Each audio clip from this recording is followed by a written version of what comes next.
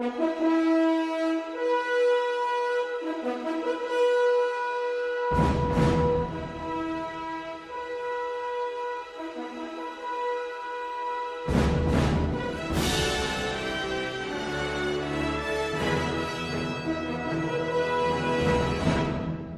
বছর আগের ঢাকা আর এখনকার ঢাকার ভিতরে অনেক পার্থক্য হয়ে গেছে।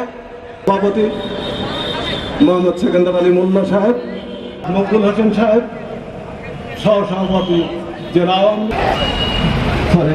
বিশেষ অতিথি উপস্থিত আছেন।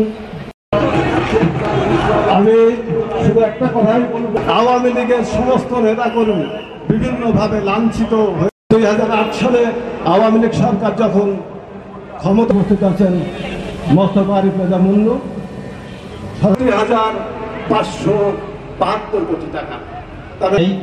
এই যে একটি জনসভা